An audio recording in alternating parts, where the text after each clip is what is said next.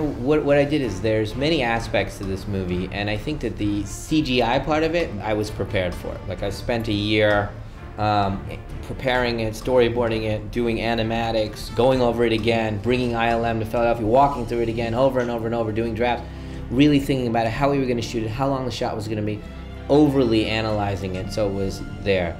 But there are other parts to making a movie this size that were not, I didn't give like 100% of that kind of attention to, like the epic scale of it with the extras and the size of the sets and how much the physical, like a military operation, it would be when you get on the set, and that that was overwhelming. Um, and so I was I underestimated that.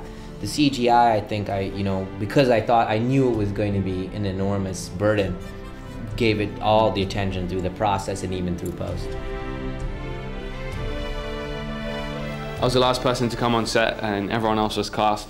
And um, I got there, and you know, everyone had already been talking about characters and training, and you know, I was really nervous. But he's a, you know, he's got such a good sense of humor. So you know, everyone had a, you know, most of all, we just had such a great time on set, just goofing around and you know, having fun.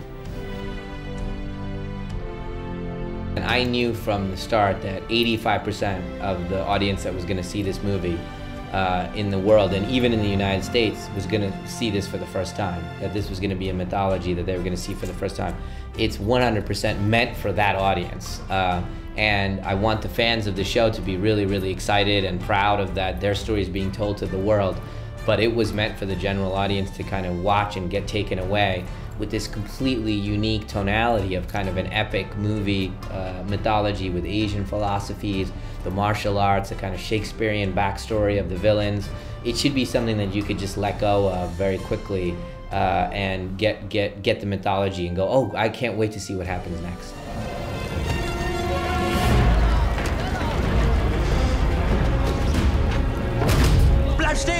Gibt keinen Ausweg!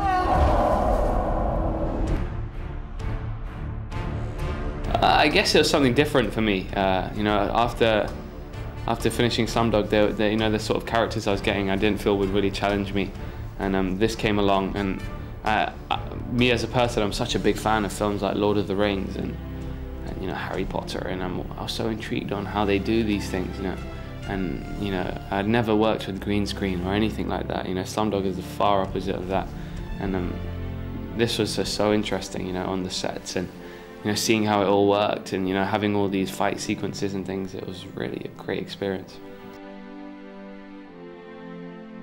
Well, I'd like to say Bruce Lee. I'm not half as good as him. Uh, uh, yeah, he was, he was, it was, it was cool. You know, I've grown up loving Bruce Lee. I'm a massive fan of his.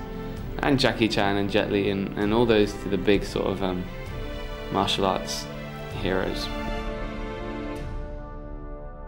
I think everyone can sort of relate to it in, in a weird way. More than anything, I mean, it was hard because you have to stay true to the essence of the cartoon and the character, but also, you know, try and make it as human as possible. And, you know, certain scenes, the whole film was storyboarded and, you know, we were stepping into these situations which Night had already planned. So that, that was, you know, that was, it was sort of limiting in a way. And there were certain times we did have to stay true to the sort of scenes in the cartoon where the character is genuinely angry and screaming and you have to do that. But wherever there's a you know there's a few points where you know we'd rehearse and find a, a different approach to a scene. It was nice to add that sort of vulnerability to the character, and um, you know he's just a he's just a boy really struggling and very confused guy. He's incredibly confused and tormented.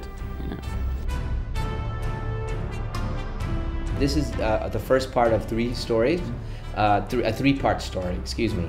Um, and you know, I wanted to let you know where you were in the story at the end of this movie, so you had a clear sense of what was going to happen next.